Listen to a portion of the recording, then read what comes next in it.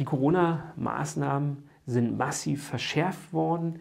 In diesem Video werde ich dir die Änderungen, die aktuellen Änderungen noch einmal kurz zusammenfassen und komprimiert darstellen und dir am Ende Tipps geben, wie du im Einzelfall damit umgehen kannst und wie wirksam vor allen Dingen auch und wie rechtmäßig diese Maßnahmen sind.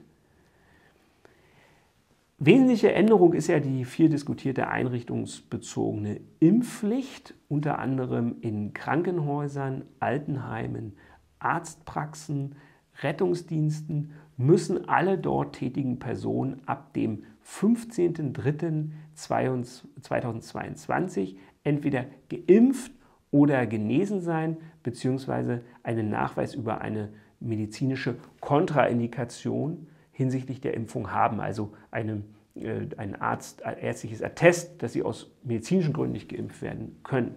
Das wird damit begründet, dass äh, diesem Personal eine besondere Verantwortung äh, hinsichtlich der besonders gefährdeten Gruppen zukommt. Und äh, ich hatte euch in anderen Videos schon erklärt, dass wir im Moment mit einer Rechtmäßigkeit rechnen müssen. Eilanträge wird das Verfassungsgericht abschmieren ist meine Prognose und wie es in Hauptsache irgendwann mal entscheiden wird, das wird uns hier in der aktuellen Situation nicht helfen. Das ist also die einrichtungsbezogene Impfpflicht. Die muss vorbereitet sein, denn der Impfschutz muss an diesem Tag bestehen und man braucht ja eine Weile, bis man die notwendigen Impfungen hat. Geimpft, impfen können jetzt auch Ärzte und Ärzte, Ärzte natürlich sowieso, aber auch Zahn- und Tierärzte, Apotheker, nun stellen wir gerade fest, wir haben nicht genug Impfstoff. Was sich daraus ergibt, werden wir sehen. Äh, wenn sich das nicht klärt, dann wird es hier an der Stelle auch ein Problem mit der Impfpflicht geben, wenn nicht genug Impfmöglichkeiten da sind. Das ist immer absolute Voraussetzung für irgendwelche Impfpflichten. Und da kann man jetzt ja gerade ein bisschen Zweifel haben. Ähm, die Maßnahmen sollen immer wieder überprüft werden. Ja? Ähm, es muss immer wieder geguckt werden, ob die ganzen Sachen noch äh, Geltung behalten. Ähm, man wird sehen, äh, wie ernst das genommen wird. Ja, ob es so eine, wie diese Bundesnotbremse, wenn die Gefahrenlage abschmilzt, ob es dann wirklich auch Korrekturen gibt. Und das könnte auch dazu führen, dass die Impfpflicht sogar noch wieder aufgehoben wird oder dass die Fristen verlängert werden, ja, wenn man zum Beispiel nicht genug Impfstoff hat. Das müssen wir sehen.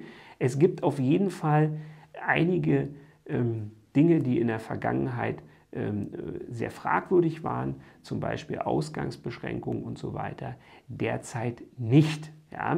Es gibt allerdings ein paar äh, fragwürdige Übergangsregelungen, also die Bundesländer, die schnell noch entsprechende Ausgangssperren auf den letzten Drücker verhängt hatten, die können sich darauf berufen. Ja, also insofern ähm, hat man hier sehenden Auges sich äh, um Entscheidungen rumgedrückt. Ja, man hat also gesagt, das Alte, das darf noch weitergemacht werden, aber in Zukunft darf es nichts Neues geben. Und jetzt haben halt viele Bundesländer schnell nochmal die Maßnahmen verschärft. Und die dürften insofern, als hier die gesetzliche Regelung nicht entgegensteht, äh, weil sie ihm dazu noch nichts sagt, sondern nur für die Zukunft, äh, dürften diese Maßnahmen dann weiter wirksam in Kraft bleiben. Ähm, also Derzeit, das kann auch immer wieder präzisiert werden, derzeit keine Ausgangsbeschränkungen und Reiseverbote vorgesehen. Äh, was aber möglich bleibt, ist weiter auch die Schließung von äh, Restaurantbetrieben, gastronomischen Betrieben und kulturellen Betrieben, Theatern, Kinos und so weiter. Ähm, solche Dinge sind auf jeden Fall als Instrumente im Baukasten für die Länder auch in Zukunft äh, äh, vorgesehen.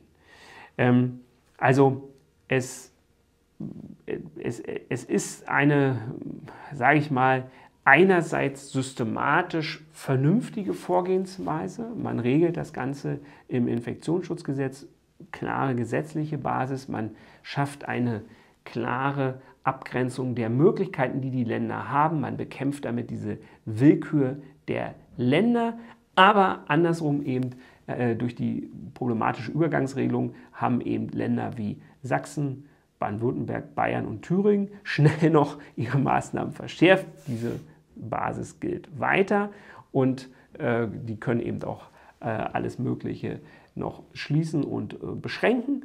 Und Ähm, die Länder, die das eben nicht gemacht haben, die sind dann auf die bundesweite Regelung, den Katalog, der jetzt hier äh, verabschiedet wurde, beschränkt.